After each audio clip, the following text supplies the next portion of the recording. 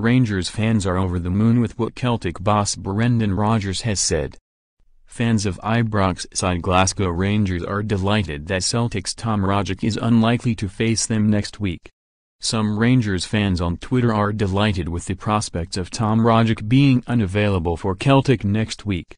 Rangers and Celtic meet in the second Old Firm derby of the season at Ibrox on December 29, before the winter break.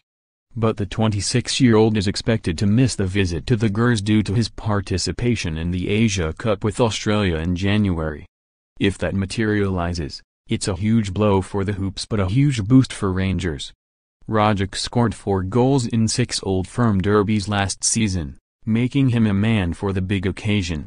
And here's how fans of the Ibrox club reacted to his potential absence. I believe he is their most dangerous player he's always a danger I'd happily see him miss the match is he obliged to go?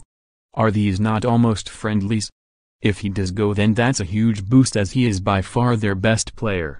Tom Rogic has been called up to the Australian squad for the Asian Cup. This means he is likely to miss the Rangers vs Celtic game on the 29th. This is good news for us as he always seems to save his best performances for us. Hope so. He is Street Pat's best player on the plus Rogic won't be available for them against us such is the form of Steven Gerrard's side. Rogic's participation may not even matter. Rangers would have been out for blood regardless, but no Rogic certainly increases the likelihood of them getting it. As it stands, Celtic are four points clear of third-placed Rangers at the summit, but the Blues visit St Johnstone tomorrow for their game in hand.